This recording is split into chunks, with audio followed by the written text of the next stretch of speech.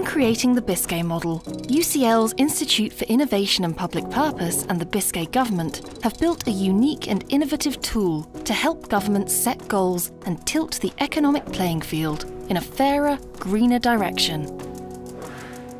This model is path-breaking in how it brings together tax policy and sustainability.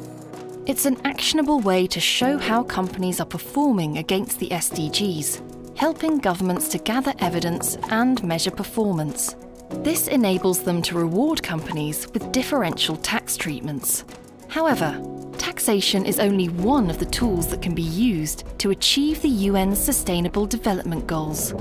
Governments must look at wider, whole system approaches using multiple tools and policy instruments and work with businesses to co-design a path to a fairer future.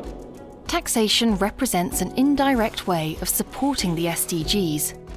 But at UCL's Institute for Innovation and Public Purpose, we also work with governments on more direct approaches, such as building markets by changing procurement rules, offering grants for research and development, or providing collaborative platforms.